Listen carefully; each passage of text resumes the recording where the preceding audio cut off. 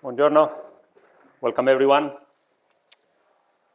have to say that it's my pleasure and also my honor to be at this school. I think that this is one of the best uh, international, uh, international graduate schools in our field uh, at worldwide level. So it's uh, not only an honor, but also a challenge to be here, to live up to expectations. Because I'm going to talk about a subject that's uh, very important in our field, maybe the most important one, quantum gravity, holography and quantum gravity. And uh, well, it's also a pleasure to be here because I'm here in person, because we've been through the last few years uh, through this pandemic, and it's been bad. And one thing that we've learned from the pandemics is that uh, there's no substitute for uh, in-person interaction. And uh, when lecturing, when trying to learn a subject, this is very important. Because these days you all have uh, resources in the internet. Uh, it's an amazing uh, amount of uh, resources that you have. You have lectures, uh, online lectures, uh, videos by the biggest people in the field. You have also written up lectures, lecture courses for almost every subject that you can imagine. But there's one thing that these videos, for instance, or these written lectures that, that you cannot do. They are technologically very advanced and sophisticated, but Something that you cannot do is stop the video and ask the person who's talking about, uh, well, any point that's uh, come up during the lectures. That's something that you can do here. I have that uh, app uh, uploaded in my system. You can stop me and uh, ask me questions. And not only during the lectures, maybe you don't want to interrupt the lectures, well, we will have a question and answers uh, sessions, but of course, I'm here all these days, and whenever you see me, mean, any break, lunch, breakfast in town, anywhere, you can stop me and uh, ask me. Well, if you're in town, well, yeah. If you want, uh, yeah, you can always stop me. We'll go for a birino or a gelato, or something like this, and then we can talk more. I'm serious, okay? Uh, so, yeah, so one thing that uh, you should uh, be doing all the time is interacting with people. Interacting among yourselves, but interacting also with professors and with everyone. This is something that I always insist on to my students. One of them is here, and she knows that I always tell you that uh, going to professors and going to your colleagues and asking them and interacting with them is something that uh, you should uh, do as much as you can. Okay? And uh, I encourage you to come and talk to me anytime that uh, you see me that I'm uh, free, or even if I don't look so free, that you can come and talk. Okay? And ask questions and talk about anything that you may want to to discuss. Okay? So, well, with this, I'm going to start uh, this uh, first lecture of this uh, lecture series, which I think it's a very exciting topic. And I'm going to, this first lecture is going to be kind of a motivation. So I'm going to give you my personal view of this subject, uh, because uh, whenever you mention the words uh, quantum gravity, well, some people may think, well, how dare you talk about quantum gravity? We don't know what quantum gravity is. And it's true that we don't know everything about quantum gravity, but some people even go uh, and say that, uh, well, we don't have a quantum theory of gravity. And then I kind of begin to look at them like, do you really know what you're talking about? And then if they say that we don't know how to quantize gravity, then I begin to take it seriously, and then I'm thinking, well, maybe I'm talking to a sleeping beauty who went to sleep 30 years ago, has just woken up, hasn't realized everything that we've learned since uh, 30, 25 years ago. And then, well, you have to be kind to them and take some time to explain them what we now think are some important and fundamental features of a quantum theory of gravity, or quantum theories of gravity. Okay? Of course, most of you are very young. You were not even sleeping 30 years ago, or you were sleeping virtually. So, well, my task uh, today here is uh, to explain to you in a kind of impressionistic way basic ideas about quantum theories of gravity. And then later, during the rest of the course, we will go into more detail. Okay, so I will stay, today won't be very technical.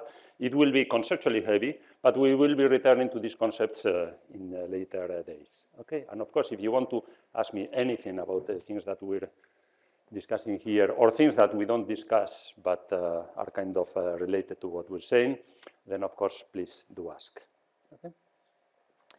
So, yeah, so I said this is uh, my attempt at explaining to this, well, some of them look sleepy, not all of them look like beauties, but uh, that doesn't matter, of course, neither do I. Uh, so, well, to explain to them that first of all, well, we do know, we've known uh, for more than 50 years, actually, uh, how to quantize the theory of general relativity. But we also learned that this uh, quantum theory of general relativity is a theory that uh, has uh, limitations.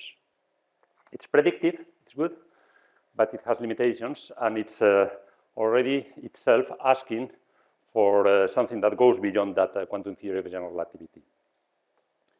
And in the last uh, 25 years, we've learned how to formulate quantum theories of gravity, and quantum theories of gravity that have uh, propagating degrees of freedom, gravitational waves, gravitons. They also have uh, black holes. They exist in four dimensions.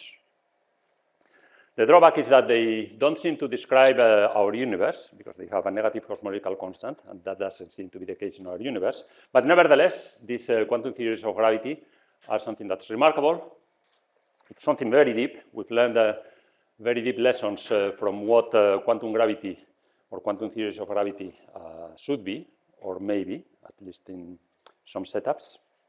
And I think that all of this progress is something that anyone who's interested in the, in, uh, the problem of uh, quantum gravity, these lessons are something that no one can afford to ignore if you're seriously into this business. Okay?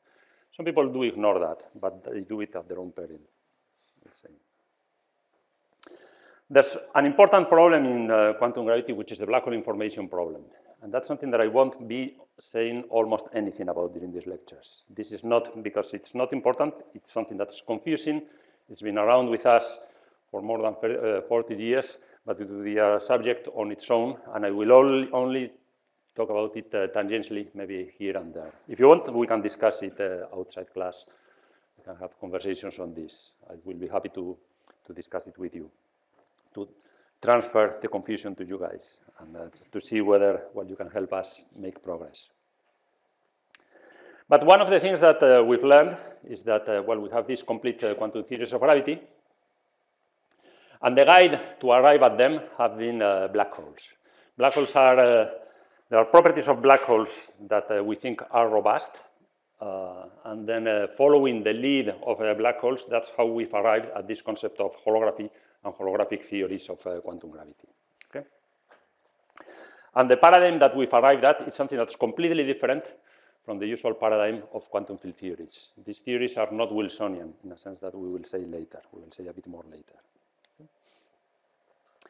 Now, what are the bases of this uh, argument that I'm going to try to, to develop? Well, first of all, the first uh, point that uh, we take as a starting point uh, in this the first uh, chapter in the guide is uh, the idea that if you try to form large concentrations of energy, then in gravity this leads to the formation of black holes. And then black holes, when we consider them in quantum theory, well, Hawking taught us that uh, black holes emit radiation. And that this radiation has a thermal spectrum, and also at around that time people realized that uh, black holes behave as thermodynamic objects. And black holes have an entropy. That's the famous Bekenstein-Hawking entropy formula, which we will encounter, encounter once and again. Which uh, that Bekenstein-Hawking entropy formula for the entropy of the black holes, which says that uh, this entropy is proportional to the area of the event horizon, that's our main guide to the quantum theories of gravity. It's a result that contains, in a deep sense, thermodynamics, quantum theory, and gravity, and that's one of the pillars of uh, holography. And we believe that that result is uh, sound, something that uh, we should take. Once we got it, we should follow the direction that it's uh, pointing us uh, into. We will assume that this entropy corresponds to some counting of uh, microscopic degrees of freedom in quantum theory of gravity. Okay? And then, following this lead, we will arrive almost in unavoidably into holographic, a holographic quantum theory of gravity. And in particular, we will realize it in anti de Sitter space.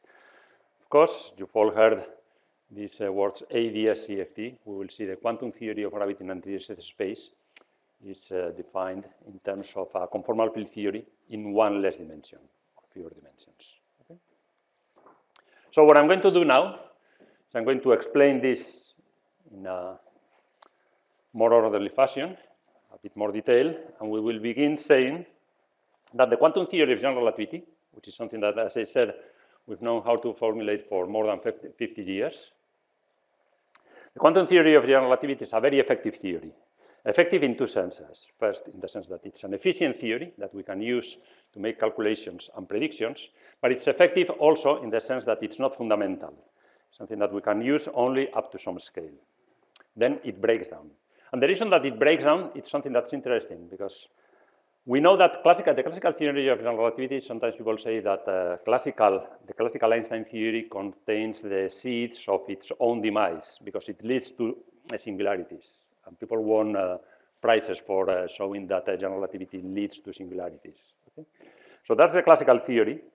But in the quantum theory, the quantum theory of general relativity, it also contains the seeds of its own demise and very much for the same reason. And in both cases, what leads to the breakdown of general relativity and its quantum theory is the unstoppable tendency of gravity to produce ever larger concentrations of energy. Okay? So that's a fundamental property of gravity. And the other fundamental and more surprising property of gravity, which is both, it's important both in the classical and the quantum realms, is that, uh, well, the naive expectations of this breakdown change completely because there appear new objects in the theory which are large and which have horizons that tend to hide these breakdown, breakdowns of the theory, the places where the theory breaks down. Okay? Now, this, in the quantum theory, what this means is that even if the quantum theory of general relativity, as I said, it breaks down as we approach a scale, the Planck scale, well, the appearance of black holes means that as we try to go to higher and higher energies, then we recover predictivity again. That's something that doesn't happen in conventional quantum field theories, but in gravity, it does. The presence of black holes means that as we go to higher and higher energies, we're beginning more to recover more and more control over things like uh, the scattering between two particles. We can describe it at very, very high energies, ultra transplanckian energies, using something that looks more and more like a semi-classical theory of gravity, up to, well, small details like the black hole formation problem. And what this means is that gravity is, uh, the quantum theory of gravity is something that will not fit into the Wilsonian paradigm. The Wilsonian paradigm, I will explain it, something that base, it's based on the distinction between physics, the separation between physics at, at scales. We have these very short scales where we define the theory, and the very long scales that define, say, the asymptotic properties of states of the theory. States of the theory are solutions of the theory. They are not part of the fundamental definition. The fundamental definition in a Wilsonian quantum field theory is defined at the shortest scales. So this separation between the short scales, where we define the theory, and the long scales, where we have states or solutions of the theory, this is something that doesn't happen in quantum theories of gravity, at least in holographic quantum theories of gravity. Okay? And that's uh, something that's very important. And one shouldn't forget when one is trying to think about other possibilities, other ideas for how to go about in quantum gravity. So we will arrive then at the conclusion that gravity must be a holographic theory, and then we will see in one instance, in the case of uh, space-times with uh, anti-de Sitter asymptotics, that, uh, well, we can have a formulation that's complete, non-perturbative, and that, uh, well, it can work in several dimensions and that it gives us not just one theory, it gives us a framework for theories of quantum gravity. Okay? So,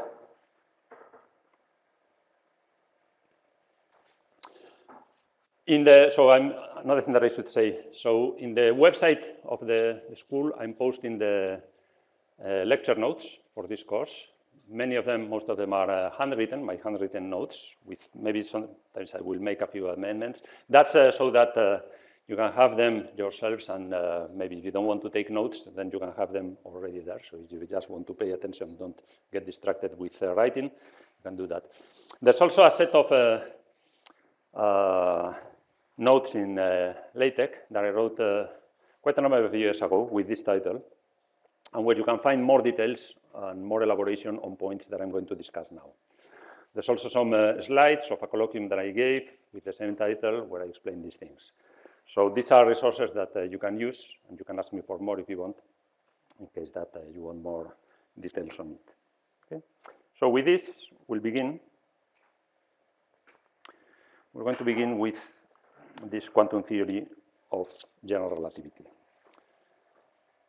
Any questions so far?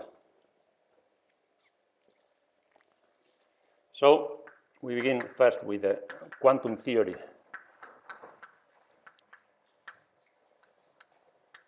of general relativity.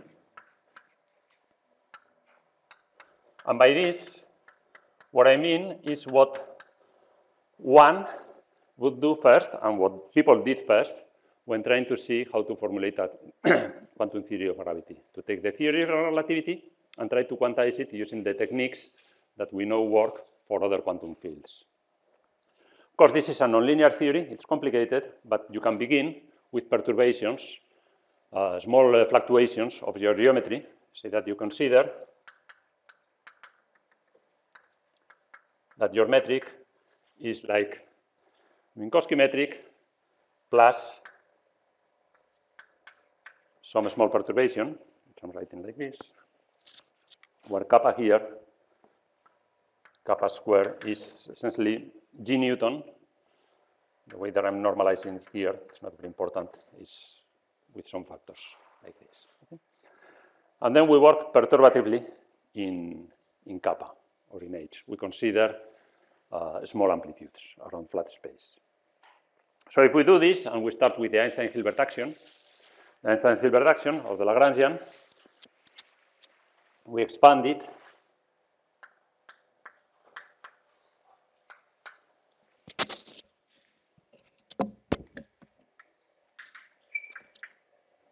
then, well, I'm not going to be very precise. I'm also losing my microphone all the time.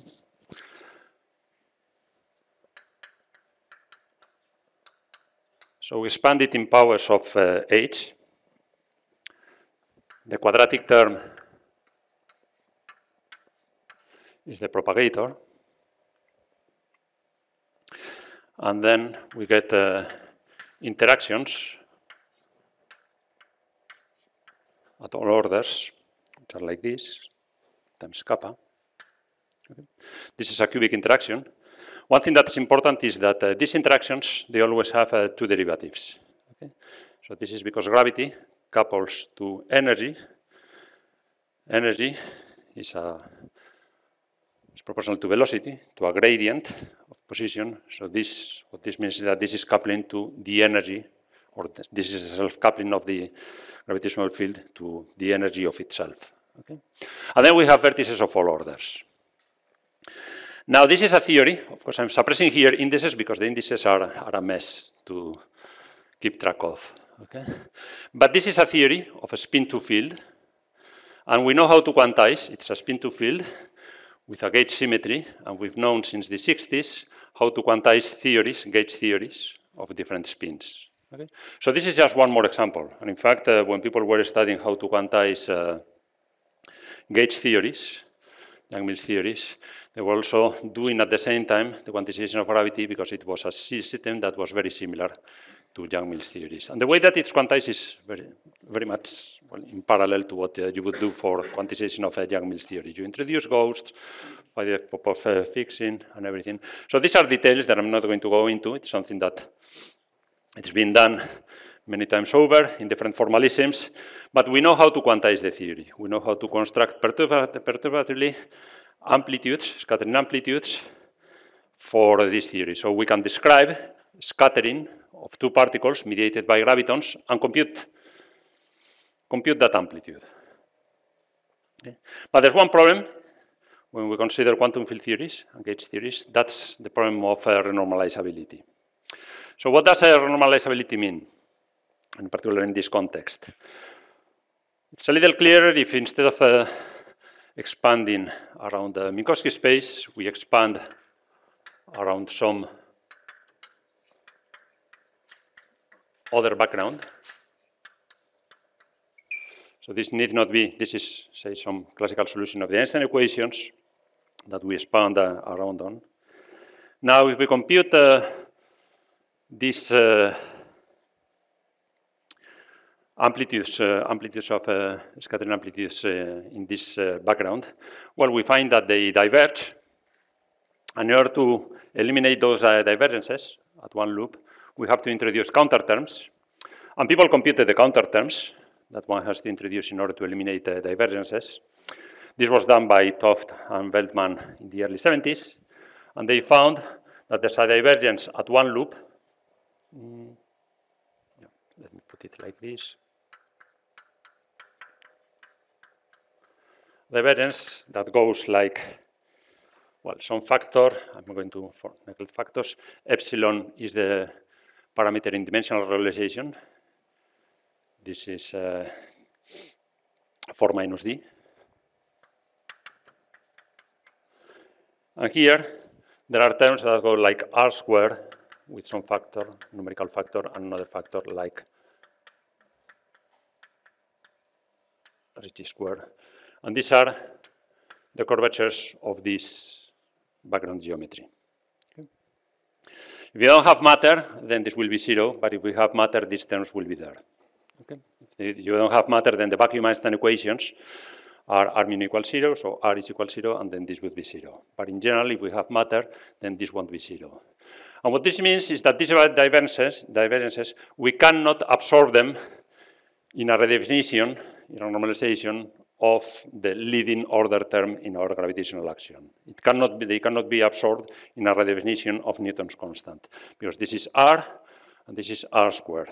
Okay. So this is the problem of uh, non-normalizability of the non-normalizability of the theory, which is what stopped people early on, or at least gave them something to think about, because it means that this theory, at each order in perturbation theory, you're going to keep adding, you're going to need uh, to add more and more terms to your Lagrangian in order to eliminate these divergences. Okay. At cubic order, which is the case where uh, even in pure gravity you wouldn't be able to remove the divergences. At cubic order, that uh, calculation is harder. It was done by Goroff and Sagnotti in the early 80s, and that proved definitely that uh, the quantum theory of general relativity is not a normalizable theory. But uh, the fact that it's not a normalizable theory, this doesn't mean that it's a useless theory. It means that we should think of it as an effective field, field theory. And this is the way effective field theories, the effective field theory philosophy is the philosophy that we adopt nowadays for all, or at least almost all, quantum field theories. What this means in effective field theory, what we say is that uh, the theory the system that we want to describe is characterized by a set of degrees of freedom and a set of symmetries that they respect. And then we write down the most uh, general Lagrangian that we can write down for those degrees of freedom, those fields with those symmetries, and we organize terms in this Lagrangian by the dimensions of the operators that we keep uh, that we are adding. Okay, so our effective field theory of gravity will be something where we have first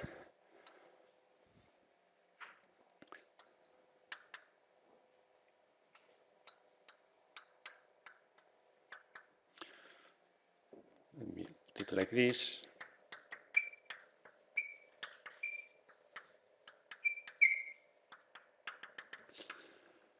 Our theory is going to be a theory that has an infinite number of possible terms, all of those which are consistent in this case with uh, Fermi-Fisher invariance. The first term is the cosmological constant, and this is a big puzzle in physics. Why it's so small, we don't know what it is. We fix it by observation to be almost zero, but not quite. Then this is the term that uh, we know and love, which gives us Einstein's gravity. And then, but then we also have all, uh, all of these other terms with coefficients that we have to determine by observation. We don't know what they are, but if we have these terms, then we can absorb divergences like this by redefining these parameters and at the end of the day, fixing them according to their observational value. So the normalization of these terms can be achieved in this effective theory by redefining define a renormalized coefficient C1 by the bare value that it has plus the number that we've got from here. And then we say, we fix this, we say that this is finite, this is infinite, this is infinite, but the finite difference between them is what we take to be the value that we observe in nature.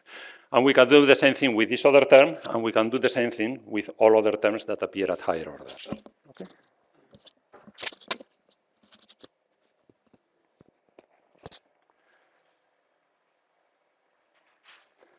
So with this theory, we can make uh, calculations. I knew that this is one.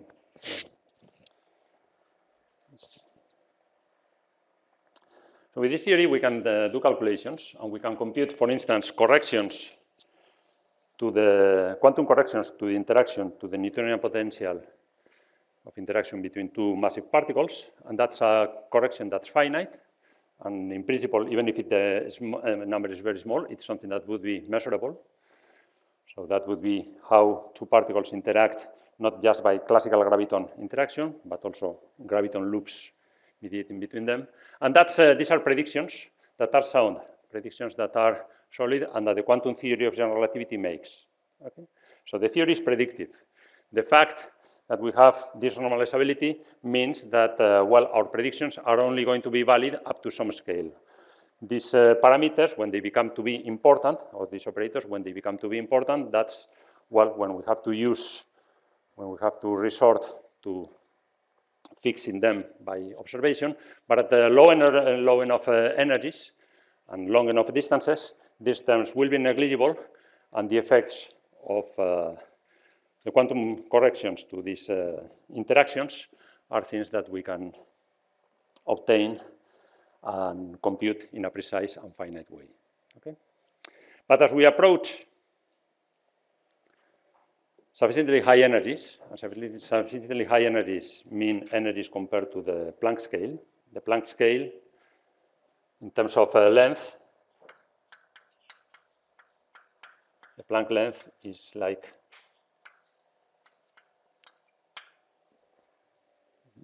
g times h bar square root. This has dimensions when the speed of light is equal to 1. This has dimensions of uh, length square. We take the root, and then we get the Planck length. The Planck energy is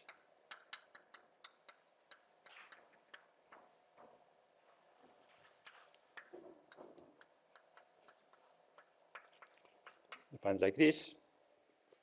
So when our energies uh, reach uh, this scale, then if we want to compute the scattering between two particles, then all of these terms are going to be important. And then since an infinite number of them or an ever larger number of them become more and more important, then that's when we begin to lose predictivity. Okay? As we collide two particles at these uh, energies, then that's when the theory breaks down. Why am I talking about uh, scattering?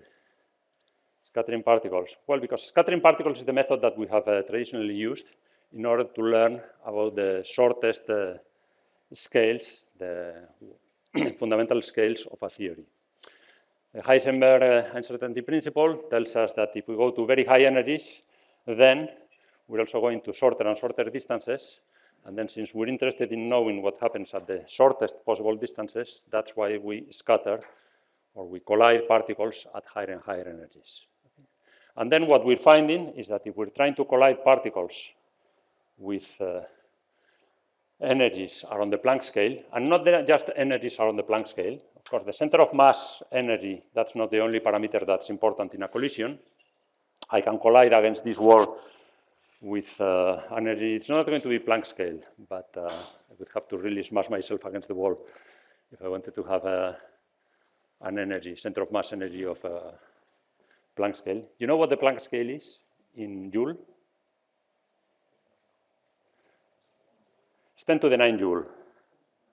So that's, uh, if you want to collide uh, two things at uh, Planck, uh, with Planck uh, center of mass energy, then you collide, you take two trains, and then you collide them head on, without people, okay? So you do it. Uh, so that's, that would be a collision with a center of mass energy at the Planck scale. But uh, you wouldn't be studying quantum gravity by colliding trains. That's not a good idea.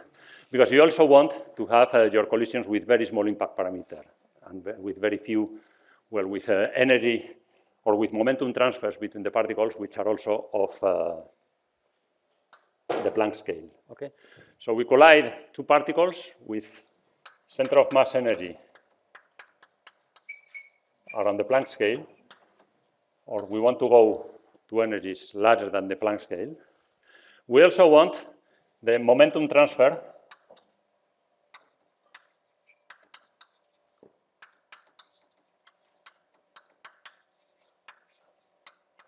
to also be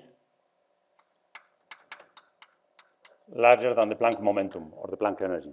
I'm setting the speed of light to one. Okay? What this means is that the impact parameter, which by the uncertainty principle is going to be of the order of momentum transfer between the two particles, this has to be less than the Planck length. Okay? So we want here B, our impact parameter, we want to be less than the Planck length, and we want the energy to be larger than the Planck energy. So that's our exp scattering experiment. This is the one that we cannot describe using the quantum theory of general relativity, because all of these, uh, all of these higher terms in the effective Lagrangian become important. But nevertheless, when we try to do this, and when we go not just to the Planck energy, but we try to go even higher, higher than the Planck energy, something remarkable happens. What happens is that we begin to form black holes. Okay?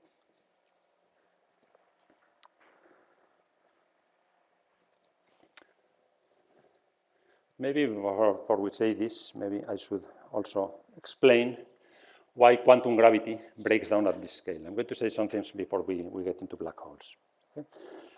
So, if you want to study scattering at the highest possible energies, then you can neglect all interactions except for gravity. Gravity is the interaction that dominates at very high energies. This is something that doesn't happen in colliders. At the LHC, when they're studying the collision between uh, nucleons, between protons, or between hadrons, then they can neglect the gravitational interaction with them.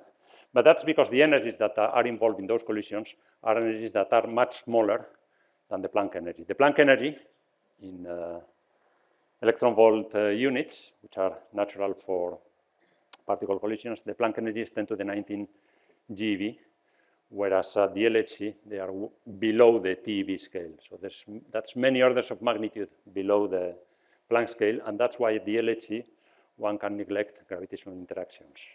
But as you imagine that, uh, well, some government gave us unlimited funding, and we could construct uh, colliders uh, that are bigger and bigger, and then we begin to increase their size and the center of mass energy. And then as we begin to do this, the gravitational effects are going to become more and more important. Why is this? Well, the main reason, uh, essential reason for this is that gravity couples to energy. Whereas the, the other interactions, they grow with energy much less quickly than gravity does. If you have, for instance, scalar interactions, like uh, lambda phi to the 4, okay, this lambda, this is dimensionless. The vertex that you have here doesn't involve, the vertex doesn't involve any powers of the energy. So in this case, what you have is that the scattering amplitude, in this case, goes like energy to the zero divided by the momentum exchange. Here I'm using Mandelstam variables.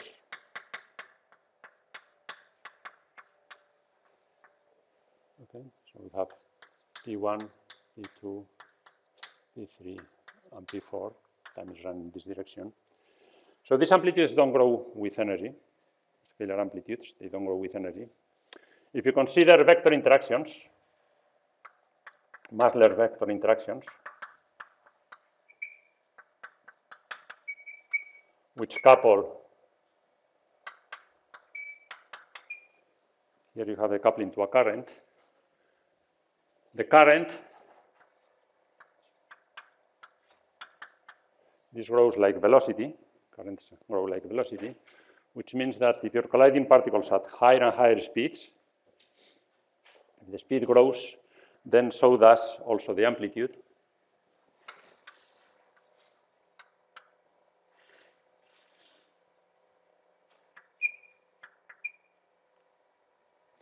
Here at this vertex you have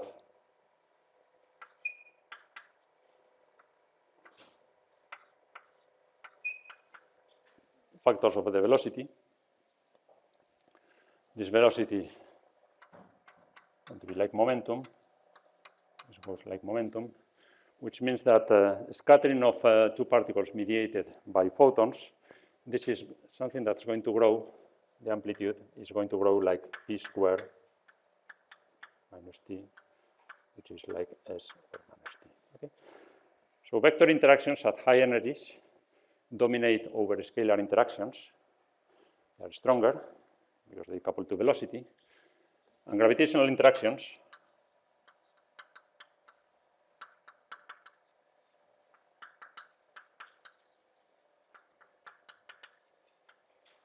they couple to stress energy. The stress energy has two powers of velocity.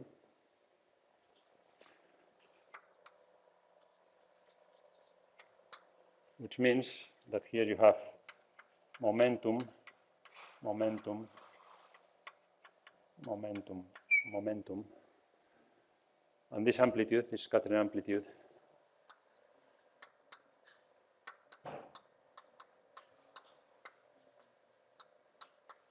grows like four powers of the energy. So this is what I was saying before. This is gravity gravity's uh, tendency to produce larger and larger concentrations of energy. You scatter two particles, you concentrate a lot of energy, the amplitude becomes stronger, and this feeds on itself through the nonlinearities of gravity. Okay? So at very high energies, gravity is the dominant force because it grows with energy. And what this means is that as you reach the Planck scale, your amplitudes, scattering amplitudes, become of order one, and that at that point, unitarity be begins to break down. Perturbative unitarity requires that your amplitudes don't grow too fast. If your theory behaves like this, at some high enough energy, your amplitudes are going to be too large for unitarity to be preserved. Okay? So gravity dominates over all other interactions, but at some point, as you reach the Planck scale, it breaks down.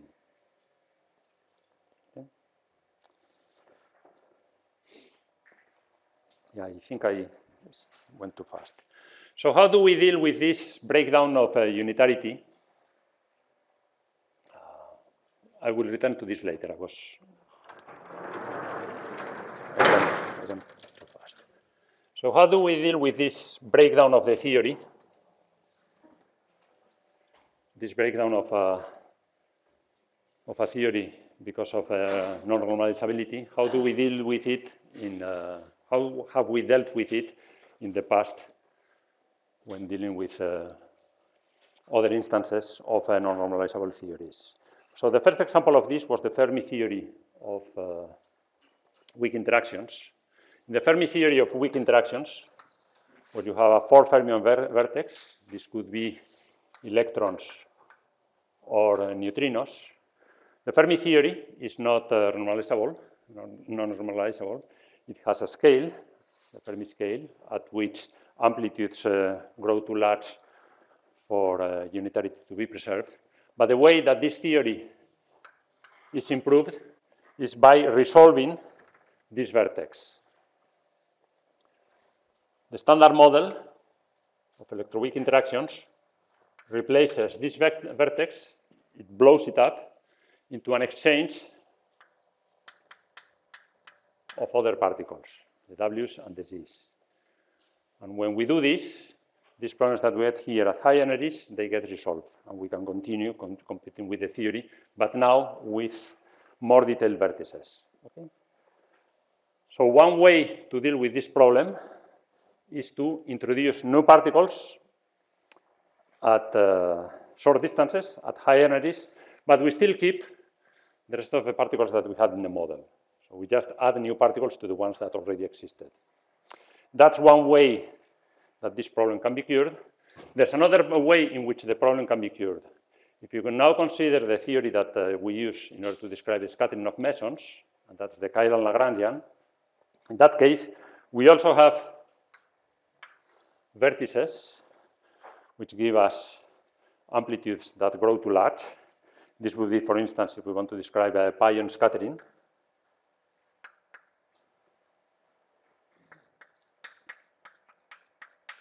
Pion scattering. Pion scattering, we can use these uh, chiral Lagrangians to describe how these pions scatter at low energies, but at high energies, this is not any longer a good description. What we do then is we replace not only the interactions, we also replace the particles with, in this case, it would be quark, anti-quark bound states. We replace the particles and the vertices with new objects.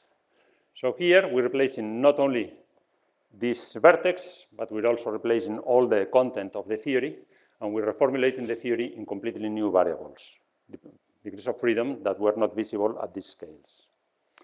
Now, in the case of gravity, we can try to do the same thing. This doesn't seem to be working very well.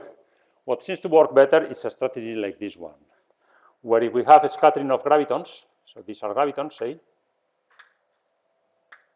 gravitons like this, how do we resolve them into more fundamental constituents? Well, we make them, make these gravitons into little strings.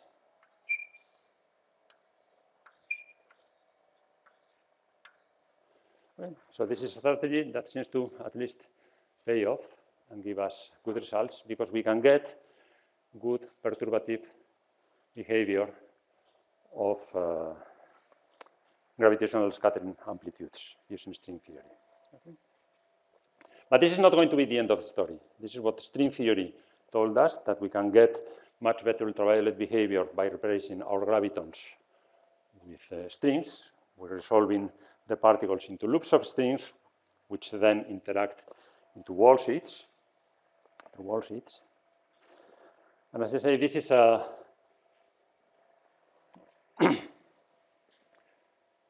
this is a strategy that's uh, been successful, but only partially so. Okay? Because at one point, as I was saying, if you go to very high energies, then the behavior of your scattering changes due to the appearance of these non-perturbative objects, which are black holes. And that happens also when we try to do it with string theory. If we try to scatter strings with uh, energies which are at or higher than the Planck scale, then also string theory, as we know it, is useless, and we have to think of something else. Because as I said, when we scatter particles with uh, center of mass energy, Transplanckian center of mass energy, and Transplanckian uh, momentum changes, at that point, instead of uh, probing shorter and shorter degrees of freedom, we begin to form black holes which are larger and larger. Why do we form black holes? Well, because if we restore here uh, units. We have B is going to be, we want this to be larger than H bar over delta P. And delta P, we want it to be larger than Planck energy. Want to have. And we also want our center of mass energy to be larger than the Planck scale, which means this has to be larger than this. Well, no,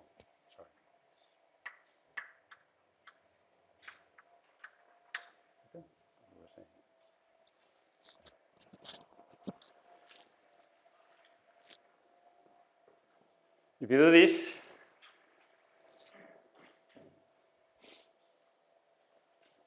then what you find is that there's a quantity, that's g times e,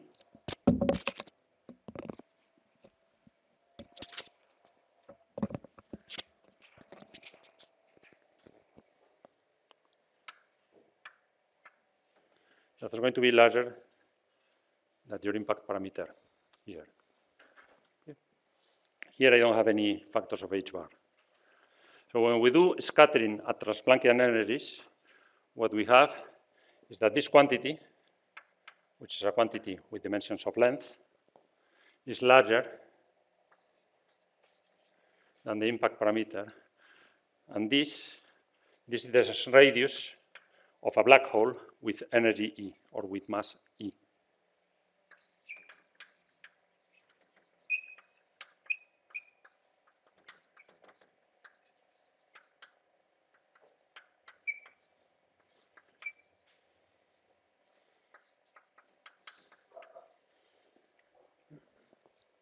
So what this means is that when we're scattering these particles and then we cross the Planckian threshold, yes? Strings don't fix this. Strings may change uh, some of the properties of this. Before you get uh, to this point, uh, you begin to form uh, massive string states, but as you keep increasing the center of mass energy, at some point, you're going to begin to form uh, black holes in any case. So strings don't fix this. So you reach the Planck scale, you try to go beyond it, and then what you find is that there's a radius here, this radius, which is larger than the impact parameter, where you form a horizon. If you form the horizon, then you don't see the collision. It's hidden behind the horizon. And then you say, well, this is a disaster because I wanted to probe shorter and shorter distances. So I'm going to try to increase the energy more and more. Well, if you try to increase the energy more and more, in order to probe shorter and shorter distances, then you're only making things worse because your black hole becomes larger and larger. Okay? So your black hole becomes larger and larger, and it's hiding more and more the short distances that you were intending to probe.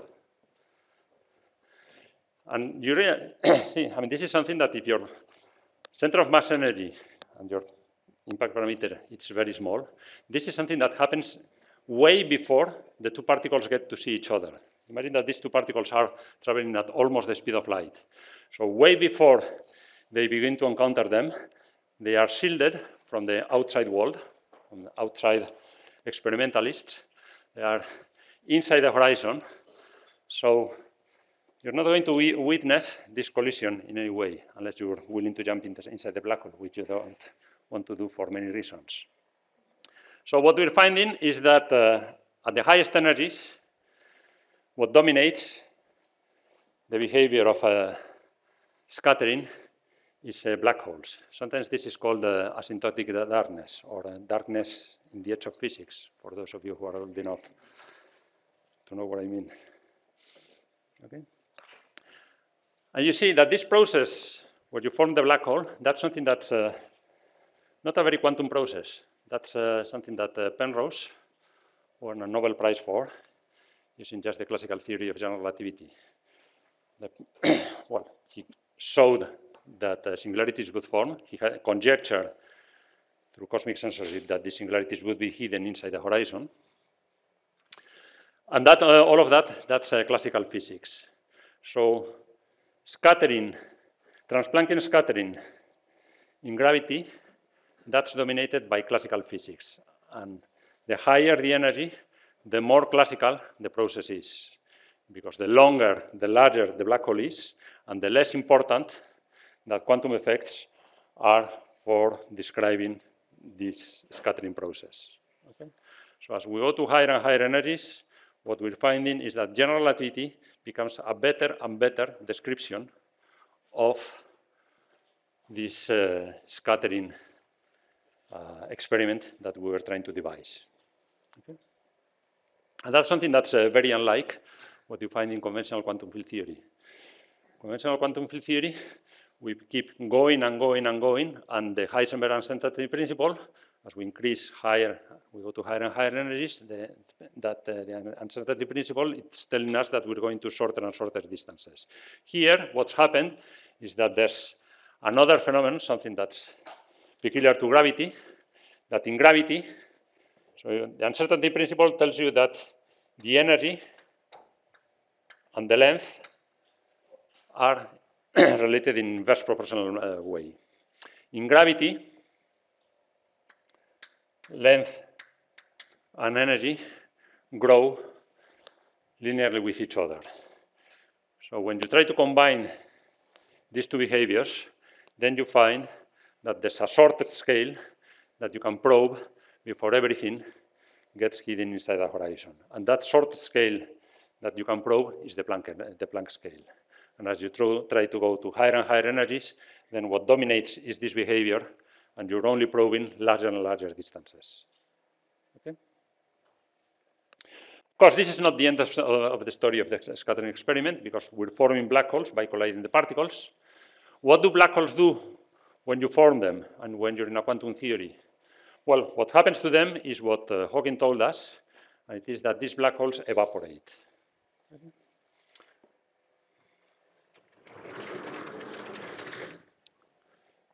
So when you form the black hole, and you're in a quantum theory,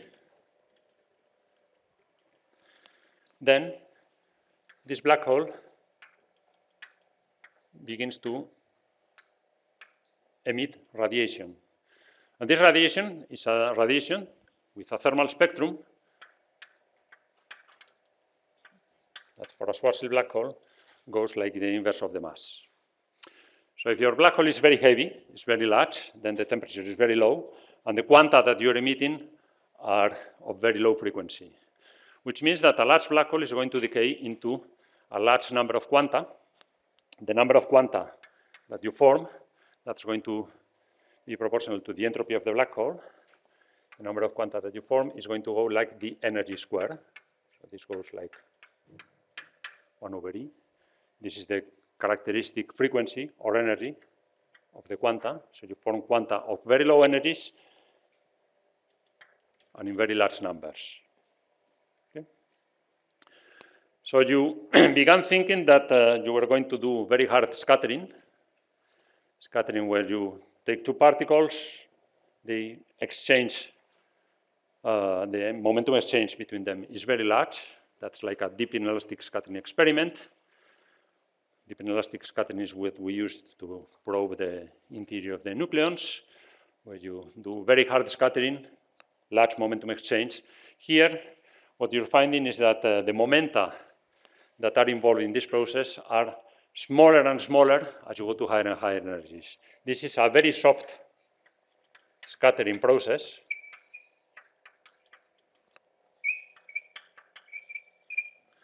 Soft scattering, because you're producing, instead of just a 2 by 2, 2 to 2, This is the scattering experiment that we want to have. Scatter two particles, then they scatter with uh, very large angles because they've exchanged large momenta between them. This would be something like a hard deep inelastic scattering. Here what we find instead is that we take two particles, they form a black hole,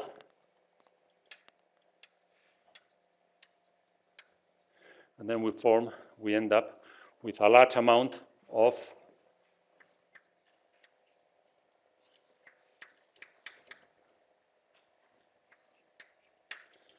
very soft quanta. Okay. And this scattering process is something that we can describe using semi-classical quantum gravity, semi-classical quantum theory uh, applied to gravity. Because the process of formation, as I said, that's dominated by classical physics. We take two particles, we collide them, they form a black hole through classical collapse. And then this decay we, decay, we discuss, discuss, it using quantum field theory around the black hole in the way that Hawking did it. Okay? So this process, almost all of it, is described using theories that we know of. So very Transplanckian scattering in quantum gravity that's described by theories that we have control over. The only caveat here is the black hole information problem that I'm not going to go over into, but uh, you do this and you can get uh, predictions for this uh, collider, what would be the outcome of this uh, scattering experiment in a collider, you can get very precise predictions for it using the, uh, theories that uh, we think that we understand well. So that's one of the things that you can tell to this uh, Sleeping Beauty, that we know how to describe a Transplanckian scattering in quantum gravity with good precision, using theories that are just uh, classical gravity and quantum field theory in the presence of a black hole.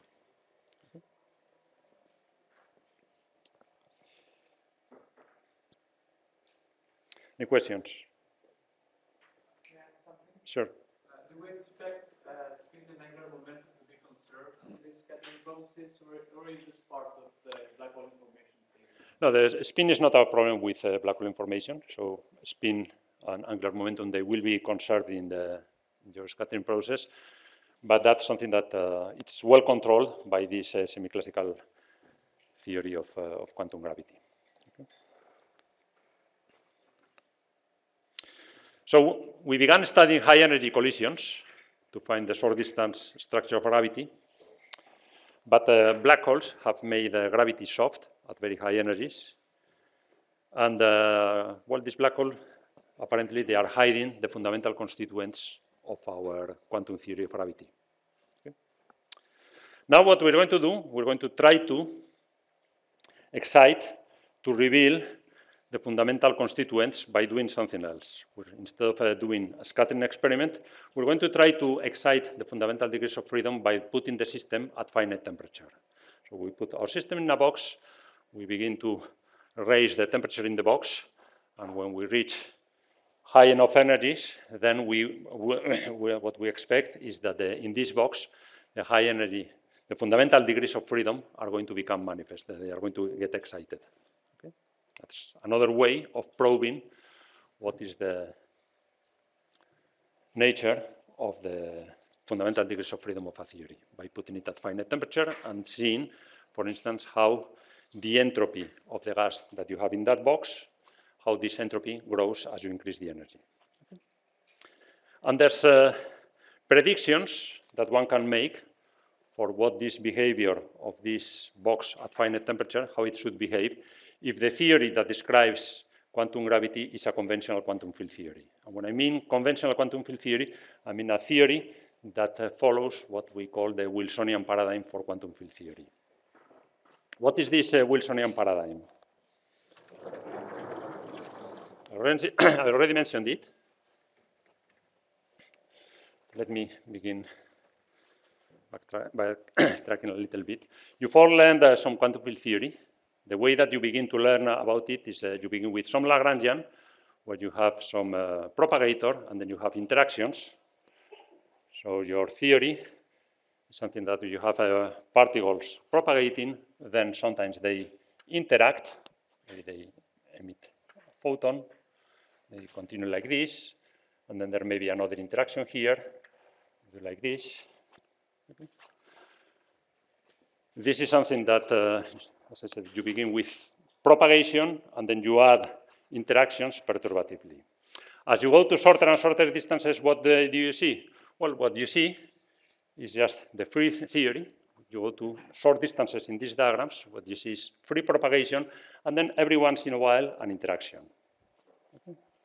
So that's the conventional point of view of, uh, or the textbook, initial textbook point of view of uh, quantum field theory that as you go to higher and higher energies and shorter and shorter distances, then the theory is dominated by the two-point functions, the propagators, with perturbations coming from interactions, small perturbations. So these are theories uh, that are uh, free in the ultraviolet, asymptotically free, or just uh, yeah, say, asymptotically free.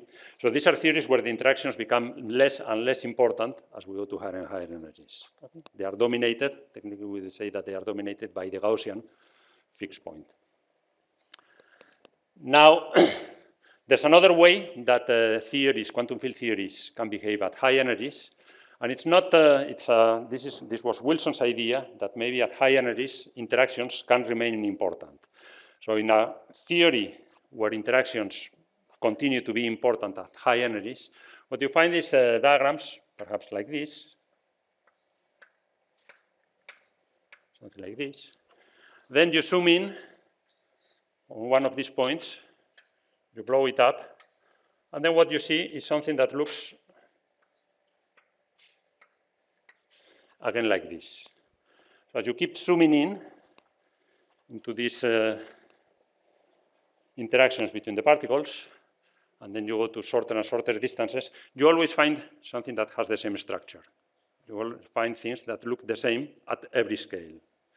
When we have a, a behavior that repeats itself at every scale, at shorter and shorter scales, then we say that we have scale invariance, and in general, we say that we have conformal invariance, which is a souped up version of scaling invariance.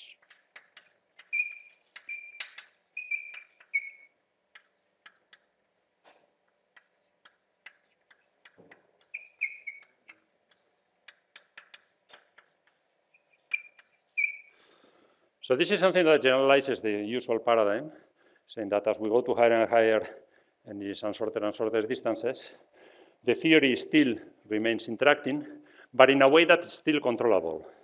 Because if the theory begins to look the same at all scales, well, at least we know something about it, and we know that it should be conformally invariant, it should be scale invariant in the deep ultraviolet limit. Okay? So this is the idea of Wilson, that as we go to higher and higher energies, shorter and shorter distances, the theory is then dominated by what's known as the conformal fixed point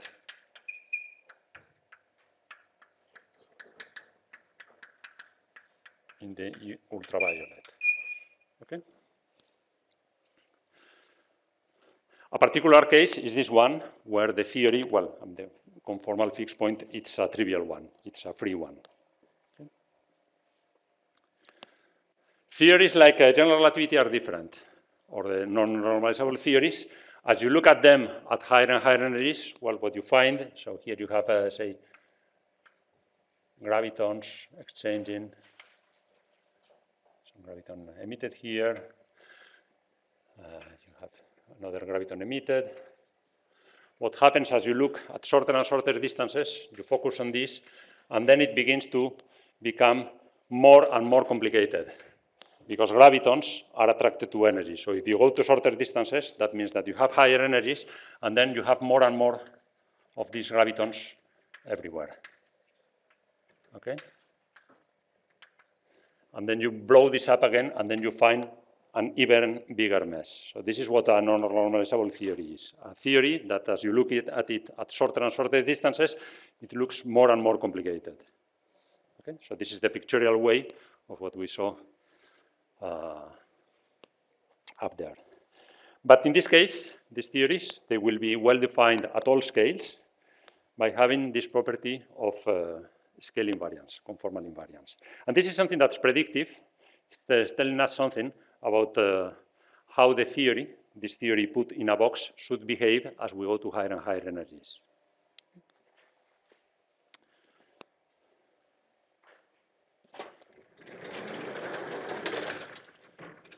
Because say that we're putting this theory, as I say, in a box of radius given by R. And then we want to see how the entropy behaves. Well, in a theory like this, the number of degrees of freedom that we have, we have uh, degrees of freedom localized at points. So you have a bigger region where the number of the total number of degrees of freedom inside the box is going to scale like the volume. We don't have any other scale. The number of degrees of freedom will scale like the volume. So this is going to go if we're in uh, d space-time dimensions,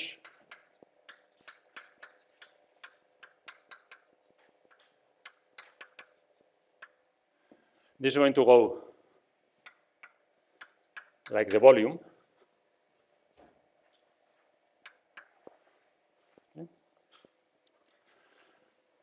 The entropy is a pure number when we use uh, that the Boltzmann constant is uh, equal to 1. So if this is going to be a pure number, then this is also telling us what the dependence on temperature should be. Temperature has dimensions of inverse of uh, length when h bar is 1. So this, the entropy of a conformal theory, a theory that doesn't have any other scale, a theory that has a scale invariance, the entropy of a conformal theory in a box of this volume should scale with the temperature with this power. And then here, in general, we're going to have some number, some constant number c. That's a pure number. That counts the number of degrees of freedom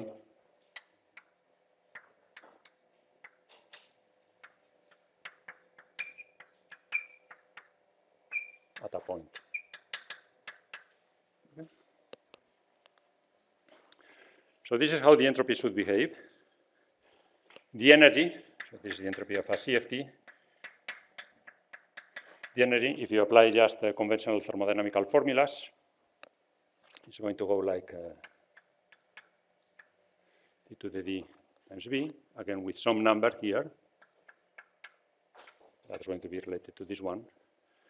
So the entropy of a CFT, conformal field theory in a box, will scale like some number. I mean, this C's are related, but they are not the same.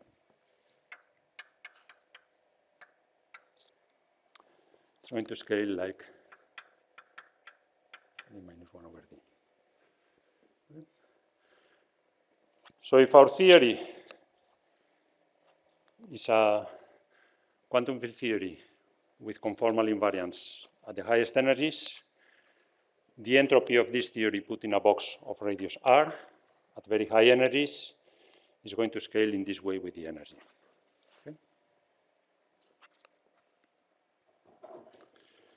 Now we said that in the case of gravity, as we go to higher and higher energies, what we do is we begin to form black holes. So if our put, if we put our system in a box, the box is large enough, then we begin to heat it up, and at some point, what's going to happen is that this thermal gas that we get in a box, it collapses into a black hole, and then the energy of the system is going to be dominated by the entropy, or the entropy of the system is going to be dominated by the entropy of the black hole. And then Bekenstein and Hawking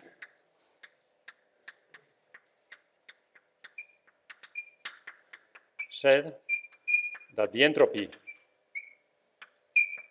of a black hole scales like the area. Yes?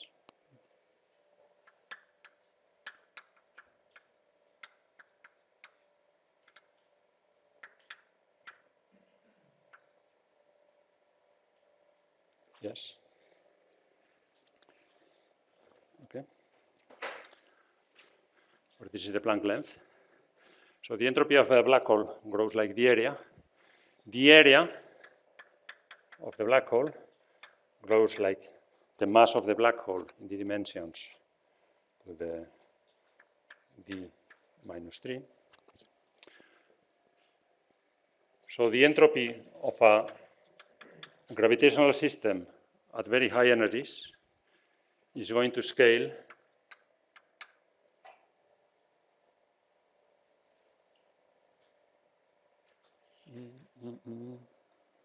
How do I put this?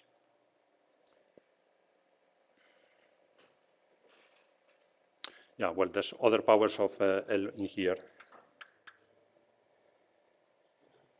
Here I should put uh,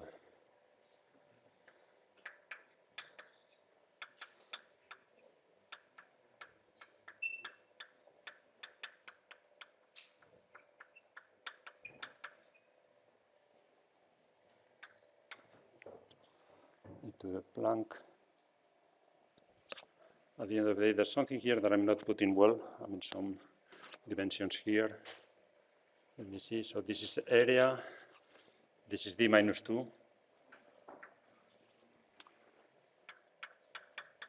Area goes like uh, the area of the horizon. Well,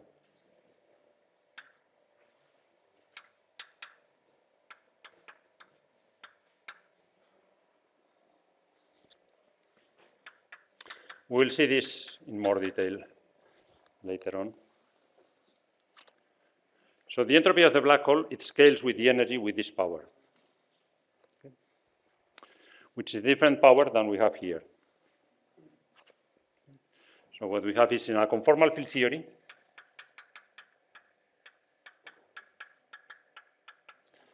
and in a gravitational theory,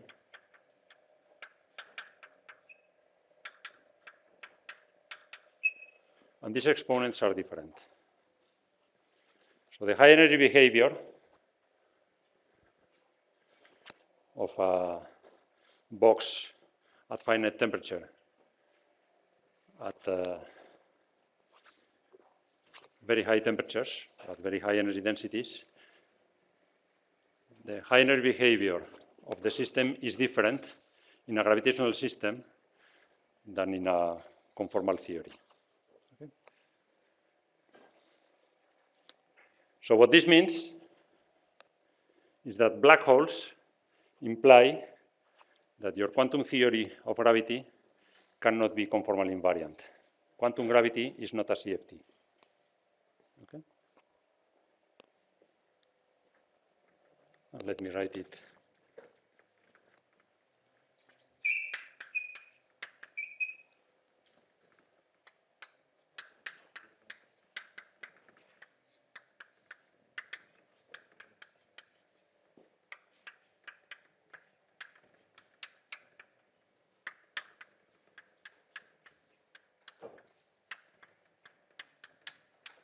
CFT. Which also says that uh, quantum gravity does not fit this Wilsonian paradigm. Okay? Quantum gravity is not a Wilsonian field theory. I'm going to leave this on the blackboard for a while because we'll return to it. Do you have questions at this point?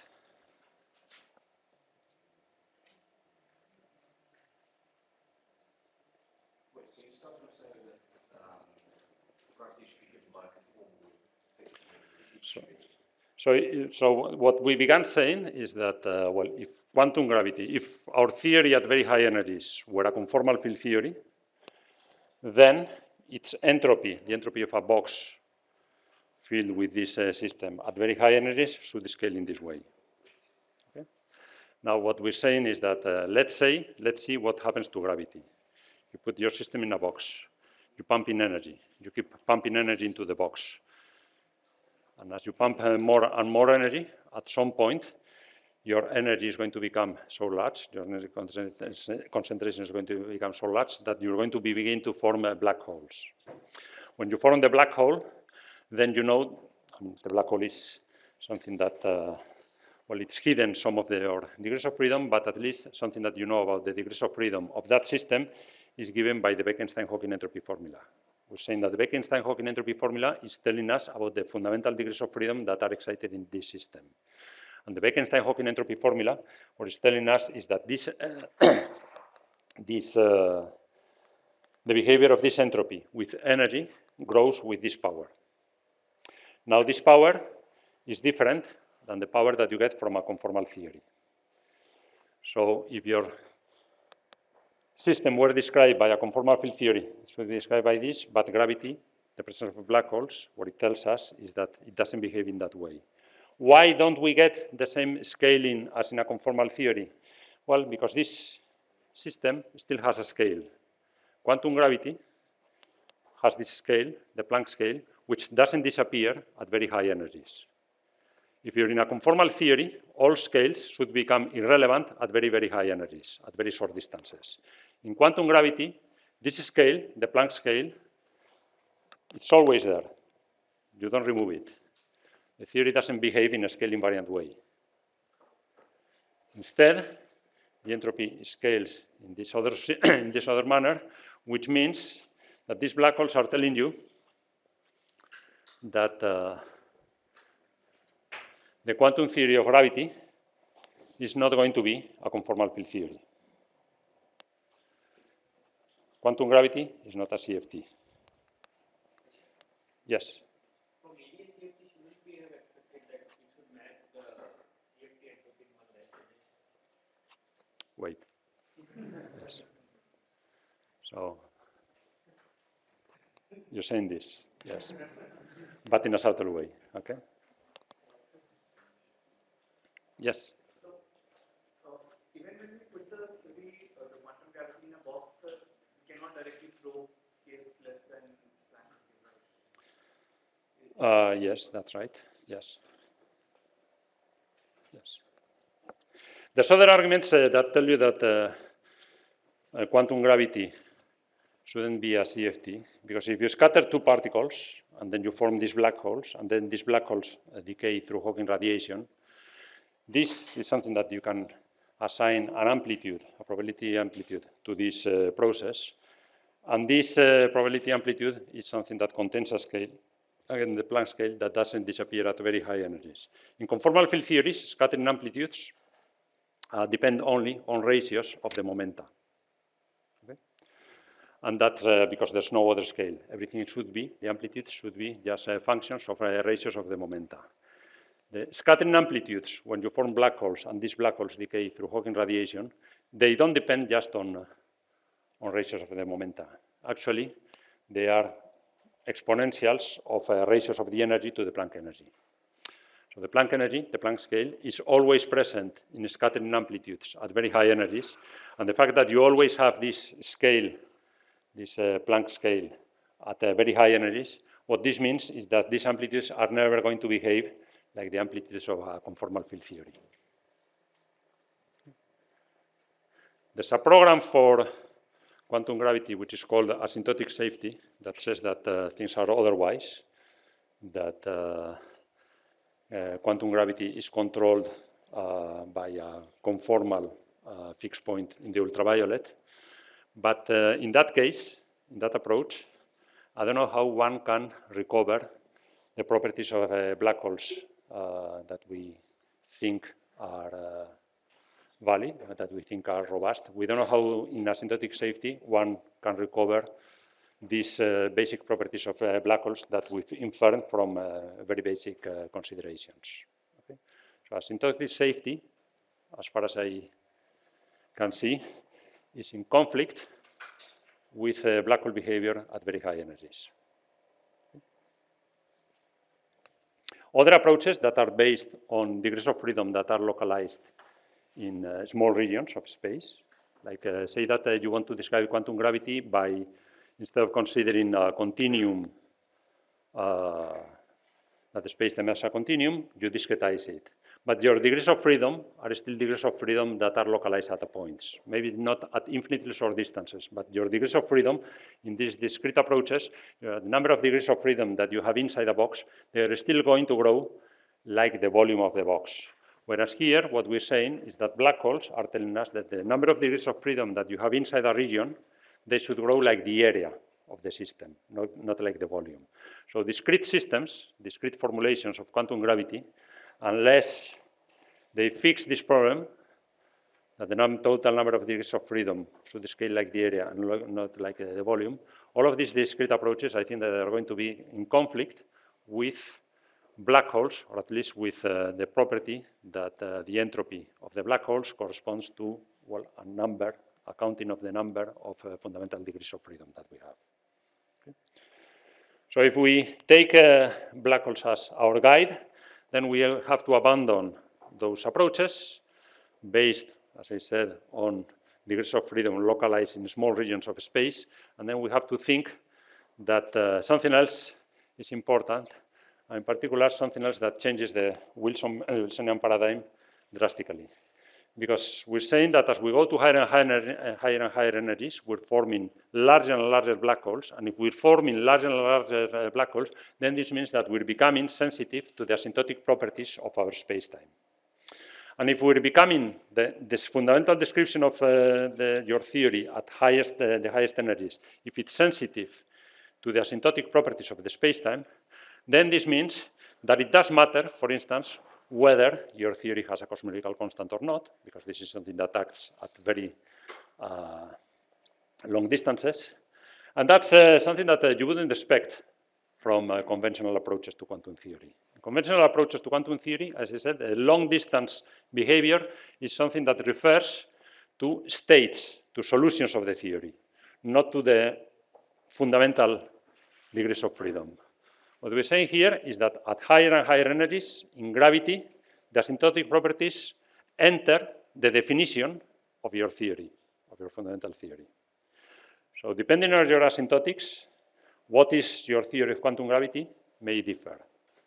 And that's completely different, as I say, from anything that had been proposed before for quantum gravity. And it tells you that uh, quantum gravity is a theory that's completely unlike all other particle theories of uh, particles that we that we had. Okay? This means that uh, quantum gravity, this is the idea that quantum gravity is holographic, that it's something that depends on the behavior of your uh, system, on the properties of your system, at large distances, and in particular at the boundary of your space-time. Why the boundary? Because the boundary is where you have these areas that measure the total number of degrees of freedom that you have in the system. Okay? So the total number of degrees of freedom is given by the area of the bounding surface and not by the total volume that uh, you have in your, that your system has. Any other questions?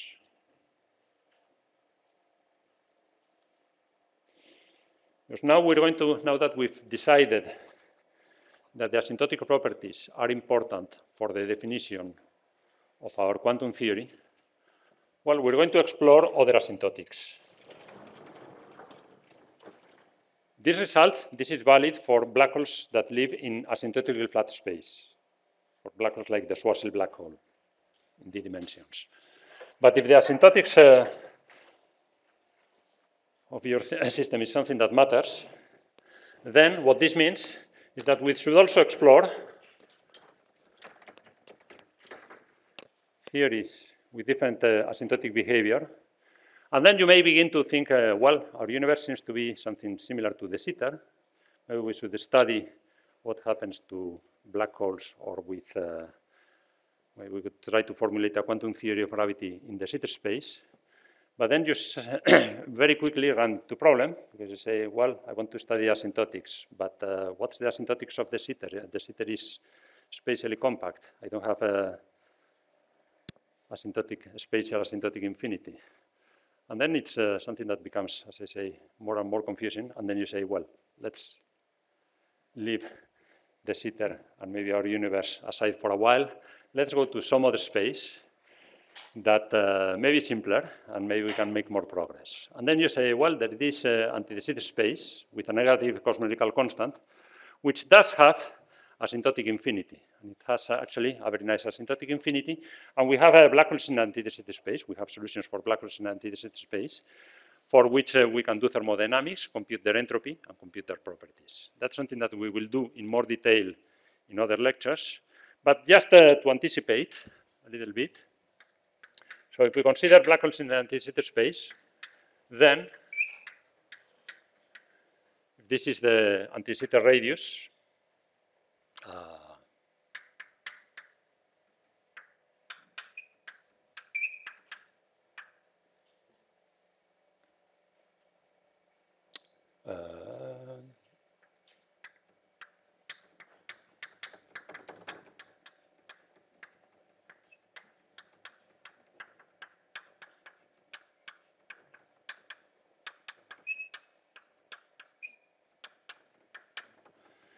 This is a solution for a, the generalization of the Schwarzschild solution, but now with a cosmological constant. The cosmological radius is uh, L. So here we have uh, black holes. We can consider this mu is a parameter that measures the mass of the black holes. So we're going to consider that mu is very large.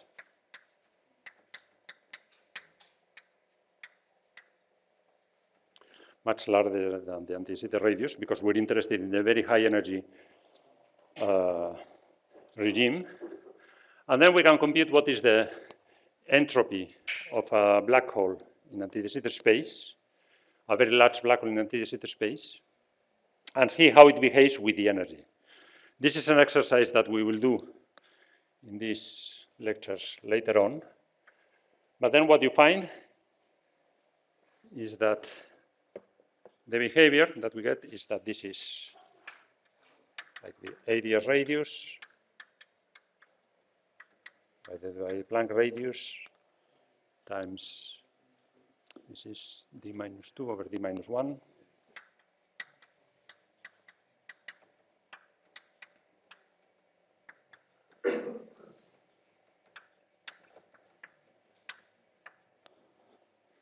And then the powers that we get are d minus 2, d minus 1. So we get a dependence with the energy that's different than the one that we had here. Well, you can see that this, for, for one, you can see that this, this number here, this is larger than one. This number here is less than one. That will be important. This means that this system has positive specific heat, whereas this one had a negative specific heat, which is something that I didn't say, but that's something that's very important. So we get a different uh, dependence with the dimension. The reason is that these uh, black holes are inside the Sitter space, and they are so large that they begin to feel the effects of the cosmological radius.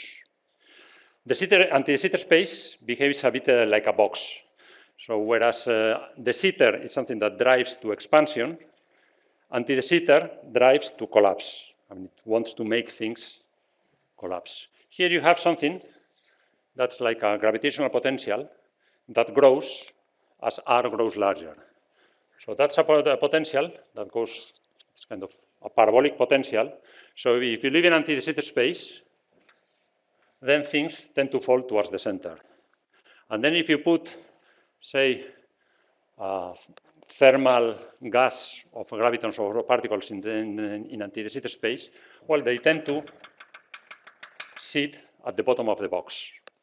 So anti de Sitter space has this effect of being like a box. It's a covariant box, which is a nice thing to have, because it's a box without actual walls.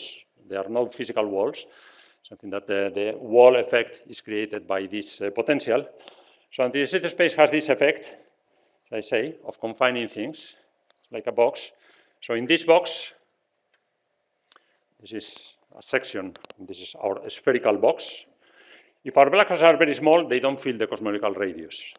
They would be like asymptotically flat black holes. But if our black hole is very large, then the black hole fills the walls of the box, and also the radiation that it emits doesn't have so much room. Okay? So the thermodynamic behavior of black holes in a de space is different than in a asymptotic flat space. And then we may ask ourselves, does this look like the behavior that we have for a CFT? Well, no, it doesn't, because here we had d minus 2 over d minus 1, and here we had d minus 1 over d. But then what you realize is that the entropy of this system at finite temperature, at very high energies, it's like that of a CFT if we change from d go to d minus 1. Okay? So the entropy of black holes in a de Sitter space at very high energies is like the entropy of a conformal field theory at finite temperature, but in one less dimension. Okay? So maybe what we should change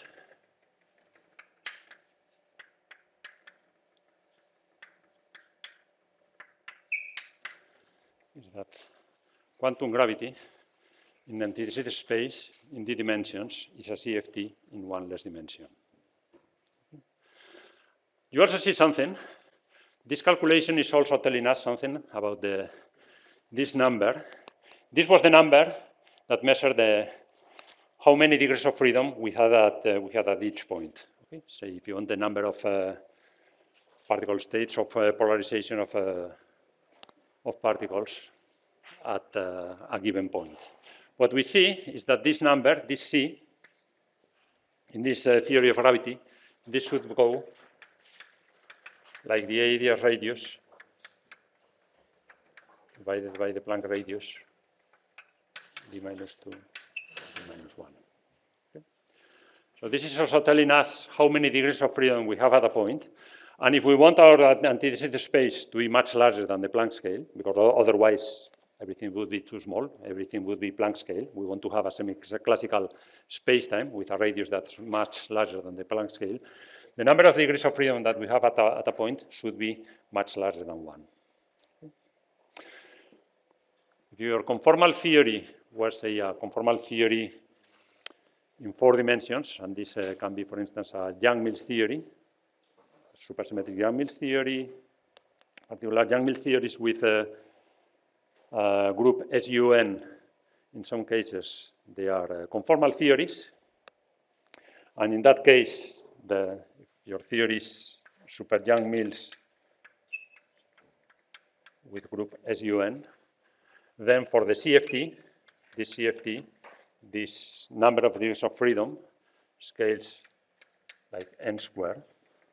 So in this case, what's telling you is that this ratio, the ratio between the AdS radius and the Planck radius, is given by the rank of the gauge group. So the limit where we have a semi-classical spacetime is also the limit of large n in your conformal theory, or large central charge in a more general sense, in a more general way. So this is one of the important conclusions maybe the most important conclusion of, of this lecture. That following what black holes have uh, told us, we've arrived first at the conclusion that quantum gravity, at least in asymptotically flat spaces, it doesn't seem to follow the Wilsonian paradigm of uh, CFTs. The behavior of the system at very high energies has a scale that never decouples, it never disappears, so it's not controlled by a conformal fixed point. Next, uh, what have we learned? We've learned that the asymptotic properties of the space are important for the fundamental definition of the theory. So the asymptotic properties of your space is not just a property of uh, solutions of the theory, it's a defining property of the theory. And then if you change the asymptotics, your quantum theory of gravity is going to change. And if we go to anti-de Sitter asymptotics, then what black holes and the Bekenstein-Hawking entropy formula are telling us is that this uh, quantum gravity in anti-de Sitter space has all of the properties of a conformal field theory, or at least it has some very basic properties of a conformal field theory, but a conformal field theory in one less dimension. Okay? Which means also that the fundamental degrees of freedom are not at points, they are defined in surfaces which have one less dimension, at least one less dimension than the spacetime where gravity lives in. Okay. So this is the basis for the AdS/CFT correspondence.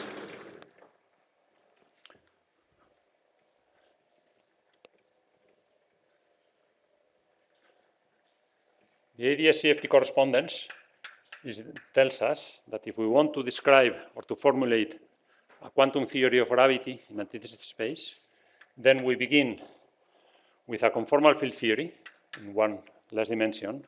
And then this is giving us a way of describing gravity in anti-de Sitter space. Okay? We know how to formulate quantum theories. I mean, if you're a rigorous mathematician, then you may say that we actually don't know exactly how to define quantum field theories, even in, well, interacting quantum field theories in four dimensions. We don't have a strict mathematical definition. But we believe that this is mostly a technical problem, that quantum field theories, conformal field theories in particular, uh, it should be possible to define them rigorously in, uh, in some way, or to prove their existence. I mean, we have uh, tools like algebraic quantum field theory, but proving the existence of uh, such theories, that's a harder mathematical problem. But at least we think that that's uh, problem that's uh, of a, in a different category than the category of formulating quantum theories of gravity in general. So conformal field theories, this side, we think that we have non-perturbative complete definitions of uh, these theories. A non-perturbative definition would be, for say, for instance, put it in a lattice, and they take the continuum limit of the lattice, and then, well, that gives you a complete formulation of your conformal field theory, of your quantum field theory. Okay? And then what we're saying is that this definition can give us a formulation, complete formulation, of a quantum theory of gravity in anti-de Sitter space in one more dimension. Okay? So then, this correspondence does work in this, in this direction. This side, this side is well defined, and it defines us for the, uh, the, defines for us the quantum, the quantum theory of gravity at the, on the right-hand side. Can we also have a definition of quantum gravity in the right side that we can use to say that, uh, well, there's actually two equivalent uh, there can be two formulations of a, of a theory that is the same theory. Here we define it using field theory variables. Here we would uh, define it using bulk gravitational variables. Is there a bulk definition of this side which is complete and non-perturbative? Can we define quantum gravity in anti-de Sitter space in terms of gravitational variables in a way that's complete and non-perturbative? And the answer is, as far as we know, no. We don't have any complete non-perturbative formulation of quantum gravity in anti-de Sitter space. Not even string theory. String theory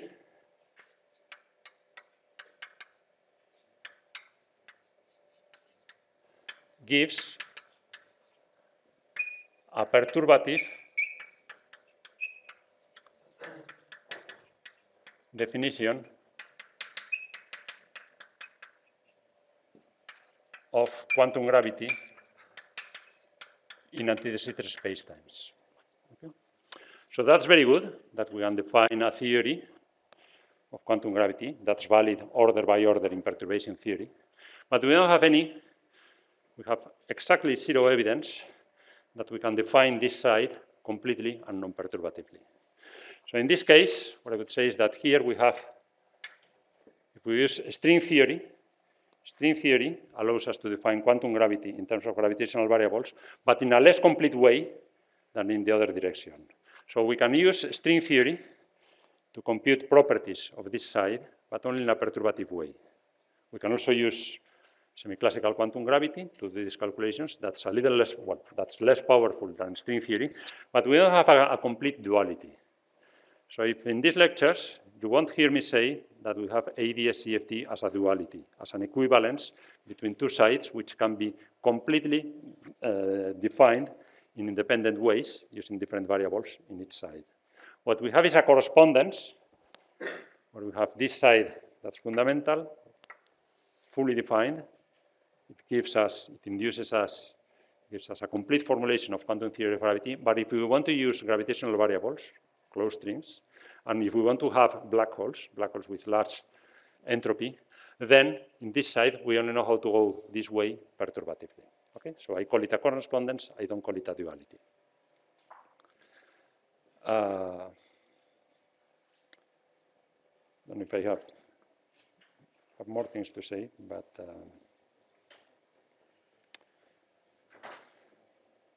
yeah, I will finish now by, by saying making a, a few more remarks.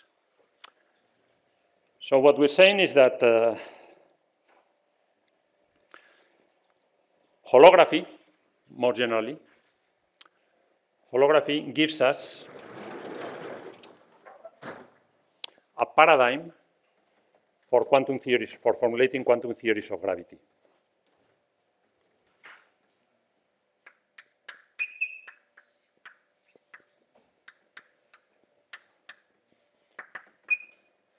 paradigm or a framework.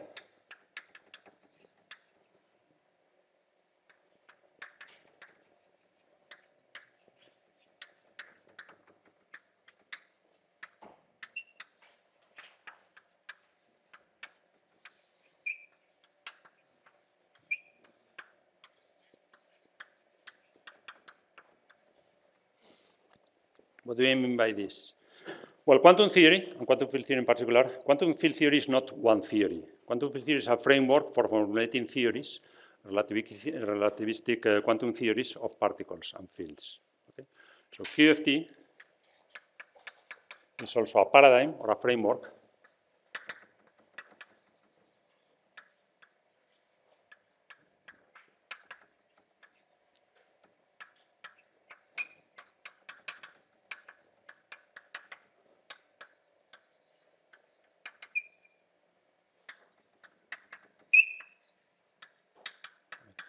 Okay? So there's many theories, there's many quantum field theories, many which uh, we believe are, are consistent. Let me add consistent. And the Wilsonian framework is the way that we understand this. Holography, in the same sense, it's not a single theory. Holography not a single quantum theory of gravity.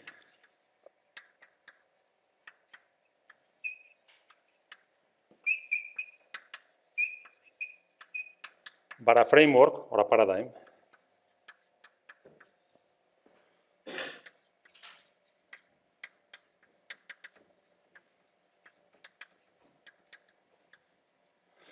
So whenever people tells you, tell you about the, the theory of quantum gravity, or the theory, yeah, the theory of quantum gravity, and they use the theory of quantum gravity, well, you can tell them that they shouldn't think in those terms. We can have many theories of quantum gravity, many quantum theories of gravity, actually, because what's fundamental is that there are quantum theories that uh, contain gravity at uh, large distances. So we have a framework, just like in quantum field theory, we have many quantum theories. In holography, holography also gives us many quantum theories of gravity. And what's uh, amazing is that at least in the cases of spacetimes that are asymptotic to AdS, the two frameworks are equivalent. That's a big surprise, that we can have many quantum theories of gravity when they are asymptotic to AdS, then these theories are quantum field theories. Quantum field theories in one less dimension. Can we extend this uh, paradigm to other uh, asymptotic uh, to other asymptotics? Can we extend the holographic uh, paradigm to quantum theories of gravity which are asymptotically flat? Or can we extend this paradigm to quantum theories of gravity in de Sitter?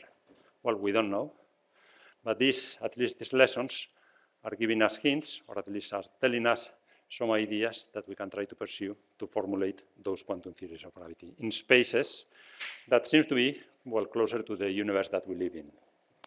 But at least, well, we do have quantum theories of gravity in four dimensions with gravitons, gravitational waves, and black holes, and they are full, consistent, and completely defined using AdS/CFT. So I think that with this, I'll stop, and then we'll continue later going into more detail. But if you have any questions, I'll be happy to try to answer them.